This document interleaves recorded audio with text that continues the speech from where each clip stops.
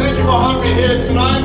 It's an honor, it's a pleasure. Second of all, the guys here told me that there's a surprise for you on the 7th of December.